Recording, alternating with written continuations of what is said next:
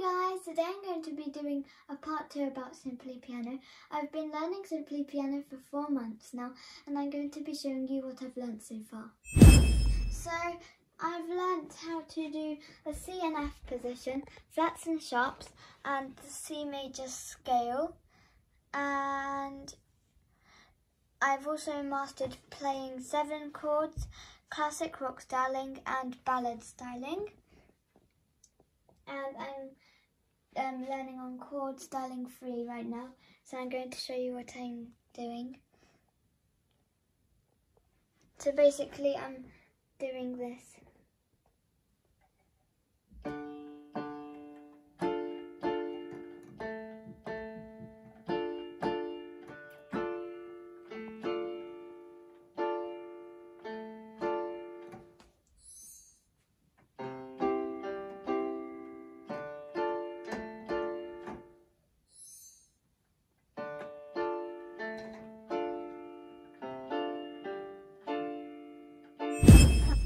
So now I'm going to be teaching you the chords. So this is C, this is D, this is E, this is F, this is G, and this is A. There's also another one um, which you need to use the black um, um, note for, and it's called. It's also called D, and it's like this. So now I'm going to be doing a couple of songs. The first song that I'm going to do is called Better When I'm Dancing by Meghan Trainor. So let's do it.